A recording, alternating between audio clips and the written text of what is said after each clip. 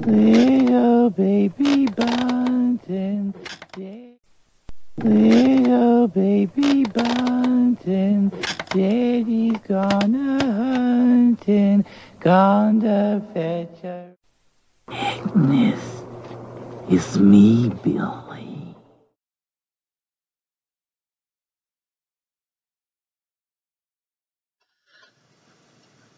Welcome back for day two of Christmas horror. Uh, I picked uh, an, a really fun movie, a surprisingly fun movie today. Uh, that is Santa's Slay with Bill Goldberg. Uh, and for those of you that um, know Bill Goldberg is a professional wrestler, I think he's uh, an ex-professional wrestler.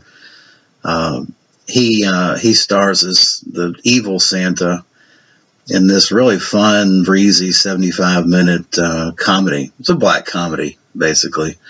Um, but it really is a entertaining 75 minutes, and it's it's probably uh, I was surprised, quite honestly. I mean, looking at the cover and knowing that you got a prof- ex professional wrestler in the movie, you know, my hopes were not up on this, but I really enjoyed it. I, it doesn't, I don't think it's going to stand up to repeat viewings. I think it's a good one time watch. I give it a six out of 10. Um, but I, I, had, I had a lot of fun with it. You, you got to put it in, turn your brain off, don't think too much about it and just enjoy the ride. It's a, it's a fun, it's a fun movie to give you a kind of a context for this. Uh, the opening scene has cameos with James Caan and Fran Drescher and they are sitting around the Thanksgiving, or I'm sorry, the Christmas table, uh, fighting with each other. You know, they hadn't even cut the cut the turkey yet, and they're fighting with each other. And down comes uh, down comes uh, Goldberg through the fireplace, and uh, he proceeds to drop kick the family dog into the into the ceiling fan. it's, it's hilarious.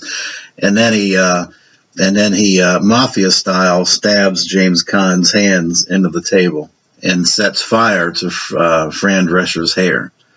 That's what you're dealing with here. I mean, it's it's it's it was fun. Probably that opening scene is probably the best scene of the whole movie, but it, it's a fun ride after that because you've got uh, Dave Thomas from Second City playing a uh, uh, your typical money grubbing uh, church pastor who uh, you know spends the proceeds of the church pastor funds by going to the local strip joint, and of course he pays the price for that as well.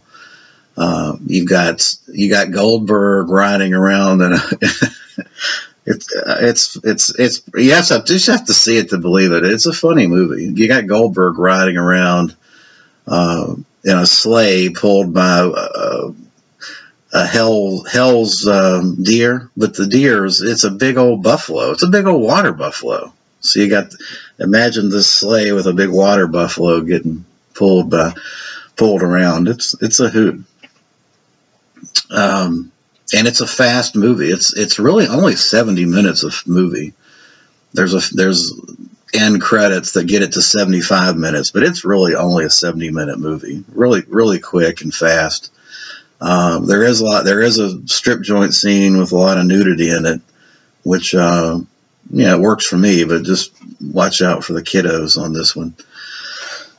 and I thought Bill Goldberg did a good job. Uh, surprisingly enough, I mean, I think I think he did a really good Santa, evil Santa.